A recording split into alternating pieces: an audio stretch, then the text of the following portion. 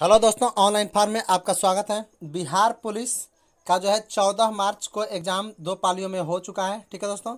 अब इक्कीस मार्च को एग्ज़ाम है दो पालियों में, ठीक है दोस्तों? तो कुछ एक तरह, एक जो है सूचना वायरल हो रहा है कि दोनों पा, दोनों पालियों की परीक्षा रद्द हो गई तो आइए जानेंगे इस वायरल नोटिस के बारे में कि ये सच है या अफवाह है। तो चलिए वीडियो शुरू करते हैं। वीडियो शुरू करने से पहले यदि आप चैनल पर नए हैं तो चैनल को सब्सक्राइब करके बेल आइकन को ज़रूर दबा दीजिएगा इसी तरह की पल पल की अपडेट के लिए। तो आइए आपको बताते हैं कि ये सच है या अफवाह।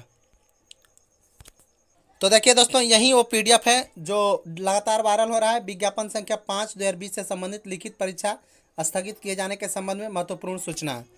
केंद्रीय चयन परिषद सिपाही भर्ती विज्ञापन संख्या पाँच दो से संबंधित बिहार पुलिस संगठन में सिपाही पद के लिए भर्ती हेतु दिनांक इक्कीस तीन दो हज़ार इक्कीस को निर्धारित दोनों पालियों में की लिखित परीक्षा अपरिहार्य कारणवश स्थगित की जाती है। उक्त लिखित परीक्षा की नई तिथि की सूचना अलग से प्रकाशित की जाएगी। आगे लिखा हुआ है हस्ताक्षर अध्यक्ष केंद्रीय चयन परिषद सिपाही भर्ती, बिहार, पटना, ज्ञापांक संख्या इतना इतना दिनांक अठारह तीन दो हज़ार इक्कीस। यहाँ पर पूरा पता लिखा हुआ है, ठीक है दोस्तों? तो आइए इसका जो है सच है या झूठ इसका पता करते हैं तो सबसे पहले हम चले जाएँगे। आ, तो देखिए दोस्तों हम आ गए हैं सी की साइट पर। इसको सर्च करेंगे सी को। तो दोस्तों हमने सर्च कर लिया है सी इसकी मेन साइट को हम खोल रहे हैं बिहार पुलिस के। तो देखिए कुछ ही सेकंड में खुलेगा ये। हाँ।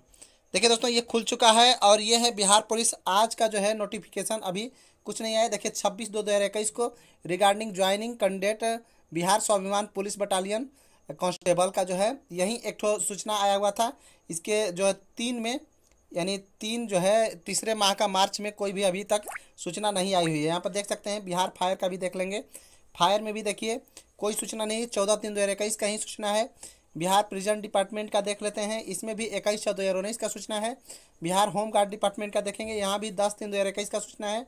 एक्साइज कांस्टेबल का देखेंगे तो पंद्रह बारह दो हज़ार सोलह का सूचना है।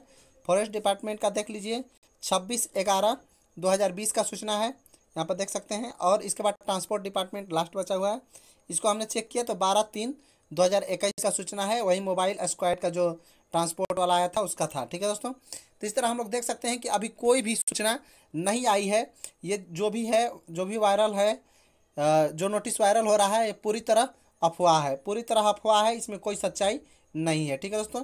आप लोगों का इक्कीस तारीख का जो है एग्ज़ाम दोनों पालियों में पक्का होगा, इसमें कोई डाउट नहीं है, क्योंकि अभी भी ऑफिशियल साइट पर किसी तरह का नोटिस नहीं है। ये जो भी नोटिस वायरल हो रहा है, ये जो है पूरी तरह फेक है। तो चलिए दोस्तों, आज के लिए इतना ही रखते हैं, फिर मिलेंगे एक नई सोच के साथ, एक नई वीडियो के साथ।